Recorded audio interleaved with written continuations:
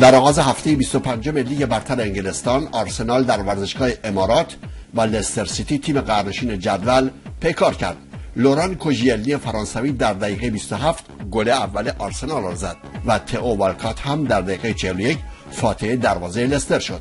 تنها گل لستر را نیز آندره کراماریچ کروات در دقیقه 61 به ثمر رساند. توپچیا با این برد و کسب 45 امتیاز موقتا بالاتر از من یونایتد در مکان چهارم قرار گرفتند لستر هم با 17 امتیاز در قرار جدول 20 تیمی لیگ جزیره قرار دارد.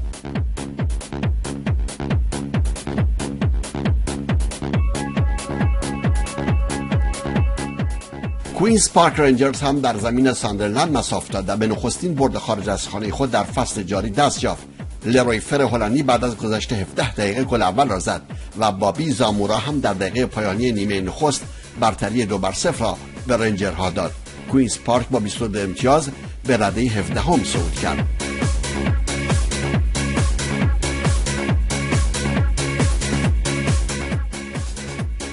هال سیتی هم در خانه خود آستون ویلا را به حساب دو بر صفر مغلوب کرد. نیکی چایلویچ کراوات و دامندوی سنگالی دو گل ها را به ثمر رساندند. تا تیمشان با 23 امتیاز 15 هم باشد.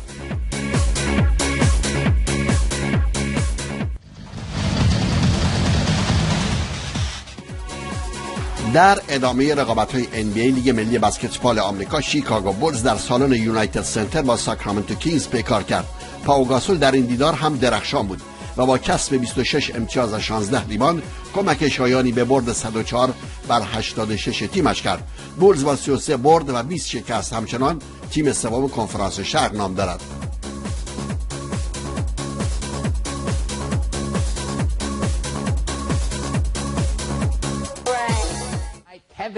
اوکلاهاما سیتی تاندر هم در سالن پپسی سنتر میهمان دنور ناگتس بود. کوین دورانت عملکرد فوق‌العاده ای داشت و چهل امتیاز به حساب تاندر واریز کرد. وست بروک هم 9 اسیست به دست آورد تا اوکلاهاما 124 بر 114 پیروز میدان باشد. اوکلاهاما با 27 برد و 25 شکست همچنان خارج از 8 تیم برتر کنفرانس غرب قرار دارد. در دیدار دیگری سن انتونی اسپرز و ایندیانا پیسرز با هم مصاف دادند. در این رقابت که در سالن بانکرز لایف فیلد هاوس و به میزبانی ایندیانا برگزار شد استاکی با 18 امتیاز و وست با 18 ریماند و 7 پاس منجر به امتیاز برترین های ایندیانا بودند. تونی پارکر هم 19 امتیاز و 6 اسیست به حساب مدافع قهرمانی گذاشت و گیرین هم 12 ریمان کسب کرد. سن انتونیو کوارترهای اول و آخر را برد. کوارتر دوم را 17 بر 17 مساوی و کوارتر سوم را به میزبان خود واگذار کرد. در پایان این دیدار شانه به شانه سن انتونی اسپرز 95 بر 93 به برتری دست یافت و در مکان هفتم کنفرانس غرب باقی ماند. در این میان گرگ پاپوویچ به هزارمین برد حرفه ورزشی خود به عنوان مربی دست یافت. پاپوویچ که 19 همین فصل خود به عنوان مربی اسپرز را تجربه می کند در جدول سریعترین مربیانی که هزار برده می شوند در مکان سوم ایستاد در سایر دیدارها هستون راکتس با 40 امتیاز 12 ریبان و 9 اسیستی که هاردن کسب کرد 127 بر 118 فینیکس را به شکست کشاند. و به رده سوم کنفرانس غرب صعود کرد. ممفیس گریزلیز هم 95 بر 86 بروکلین نتس را وادار به قبول شکست کرد. تا با 39 برد و 13 شکست دوم غرب باشد.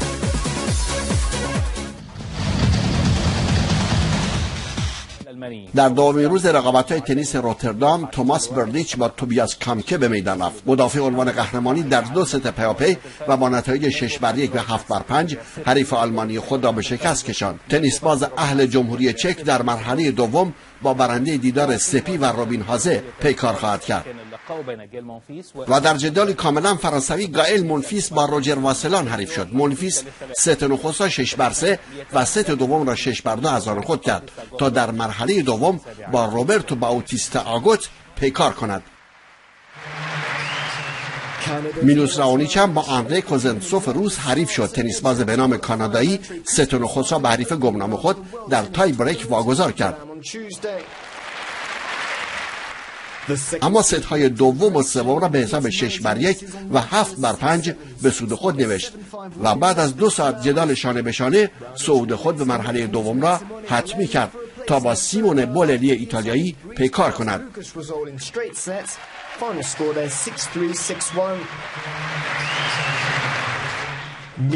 ژیل سیمون هم کار دشواری داشت و برابر ژواو سوای پرتغالی در ست نخست پنج بر هفت شکست خورد.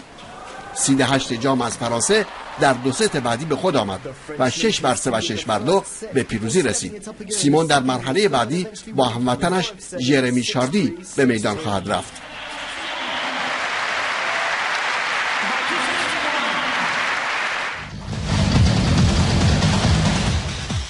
مارکو رویس در دورتموند ماندگار شد. ملی پوشه 25 ساله ژرمن ها که نامش در فهرست خرید تابستانی تیمای به نامی همچون بایرن، رئال، بارسا، منچستر یونایتد و آرسنال به چشم می‌خورد تا سال 2019 با زردپوشان وستفالن تمدید کرد.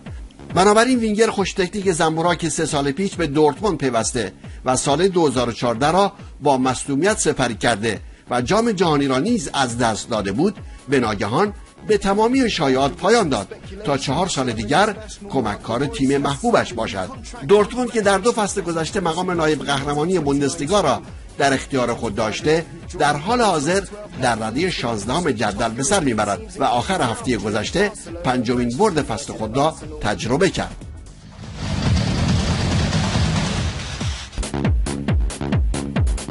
سومین مرحله مسابقات دوچرخه سواری قطر در ماده تایم تریل پیگیری شد.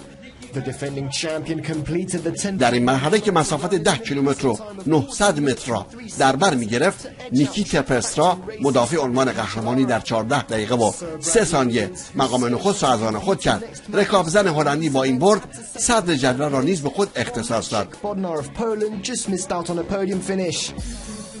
فابیان کانچلارا دوم شد و برادلی ویگینز قهرمان time trial جهانی به مکان سوم بسنده کرد.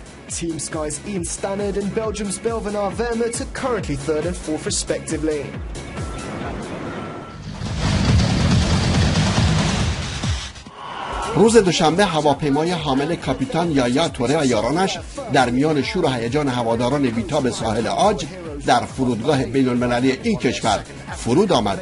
قهرمانان نارنجی پوش در همان فرودگاه مورد استقبال رئیس جمهوری کشور آلاسان تارا قرار گرفتند. نزدیک به یک میلیون نفر از هواداران وفادار ساحل آج که 23 سال در انتظار قهرمانی به سر می بردن در اطراف فرودگاه و خیابانهای اصلی شهر آبیجان به جشن و پایکوبی پرداختند و از قهرمانان خود همانطور که شایسته آنها بود استقبال کردند. مقامات روز دوشنبه را تعطیل رسمی اعلام کرده بودند تا جشن آنها بینقص و عالی باشد.